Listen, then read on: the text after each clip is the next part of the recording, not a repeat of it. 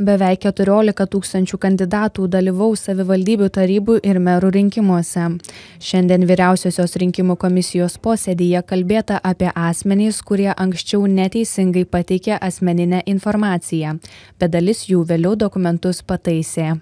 Iš 418 berots pasitaisė apie 350 kažkur. Ta prasme, dalis, e, dalis nepasitaisė, bet nedidelė dalis. Kiti stengiasi pagal VRK nustatytą trūkumų šalinimo terminą, na, biografijas papildyti ir vietoj kažkokio vaizdelio nuotraukos, e, ta prasme, pateikti ir pateikė kandidato nuotraukas.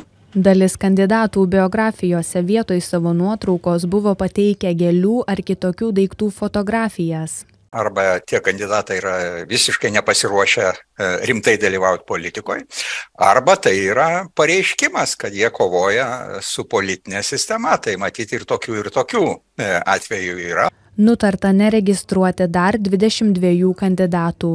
Keli buvo, kurie nepateikė dokumentų arba, e, kadangi turėjo pateikti ir nuotrauką, ir biografiją, tai pateikė tik vieną iš jų. Tai va tie 22 yra papildomai tiesiog neregistruoti, kas šiandienos posėdėje ten vienu iš pirmųjų sprendimų buvo priimta.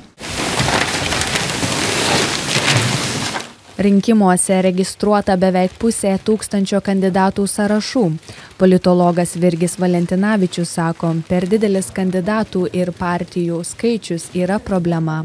Yra daug politinių, smulkių politinių darinių, kurie atsiranda ir išnyksta ir žmonės net nespėja įsidėmėti, apie ką tie dariniai e, yra. Partijų susmulkėjimas, fragmentacija, labai žema kokybė yra rimta problema, kuri apsunkina rinkėjų pasirinkimą. Vyriausiosios rinkimų komisijos posėdyje diskutuota dėl penkių partijų kandidatų sąrašų pašalinimo. Lietuvos regionų partijos Klaipėdoje ir Kaune nesurinko pakankamų parašų kiekio.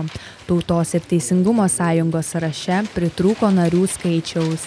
Kiekvienas sąrašas e, turėjo tam tikrą skaičių kandidatų turėti sąraše, tai jeigu e, to skaičiaus ne, ne, neišpildė, tai toks sąrašas neregistruojamas ir jeigu nesurinko nustatyto skaičiaus e, rinkėjų palaikymo parašų, tai vėlgi toksai sąrašas neregistruojamas. Absoliuti dauguma kandidatų tos parašus surinko be vargo, atsirado keli kuriems to nepavyko padaryti.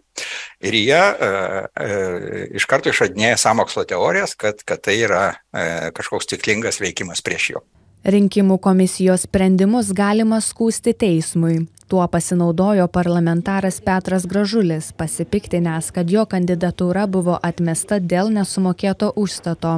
Anot vyriausiosios rinkimų komisijos pirmininkės savo klaidas Petras Gražulis ištaisė ir kandidatuoti galės nepavadinsi šitų jo metodų e, sažiningais, e, bet jis tą tikrai moka daryti, moka faktiškai vos ne tyčia kelti skandalus ir taip atkreipti į save dėmesį. Su informacija apie kandidatus ir jų biografijomis nuo rytojaus bus galima susipažinti interneto svetainėje vrk.lt.